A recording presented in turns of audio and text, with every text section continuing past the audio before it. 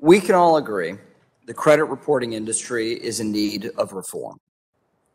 While there are thousands of companies across the country that operate within the credit reporting system, there are only three nationwide credit reporting agencies.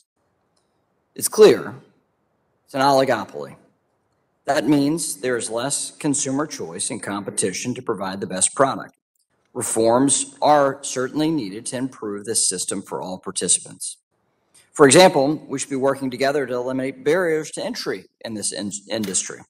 We should be thinking through ways to encourage more companies to compete with the three credit reporting agencies.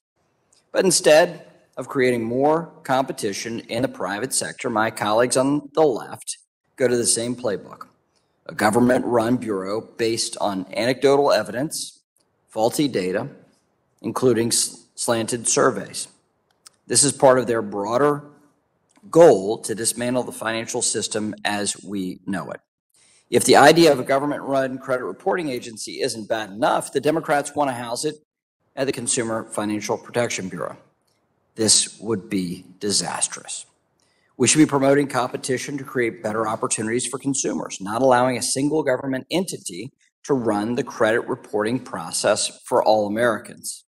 We know the government run programs are the least effective entities to deliver services. Can you imagine the IRS, the post office, the DMV compiling and maintaining your credit report? It may not be great now, but holy cow, that would be awful Additionally, we know cyber attacks are on the rise.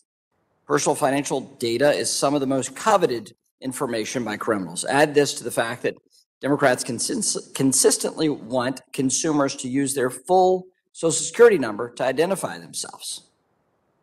It's a recipe for disaster and more identity theft.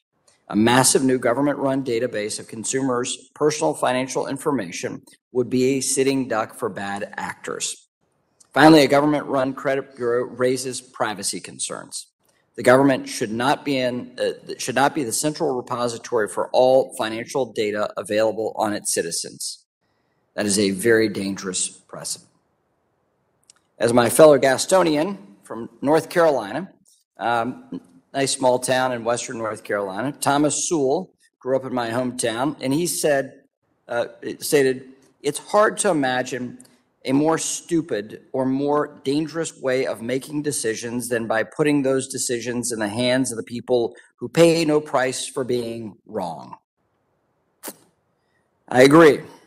It is a terrible idea to give the government the, par- the power to make credit allocation decisions, potentially based on political favorability. We've seen the IRS target conservative groups. We've seen federal regulators pressure financial institutions to invest of whole industries. Why would we take the risk with individual consumers' information? Our free market system is the envy of the world. Our choices are better than anywhere else on the globe. It encourages competition that benefits consumers by yielding solutions that better serve them. There is room for improvement. Yes, that is indeed the case but not with government takeovers like what my Democrat colleagues are pushing today. And with that, I'd ask unanimous consent to insert two letters into the record expressing concern and opposition to the bills attached to this hearing today, including one from the Consumer Bankers Association and uh, another from ACA expressing concerns with attempts to alter the credit reporting market, including government-run bureaus. Without objection, such is the order. I yield back.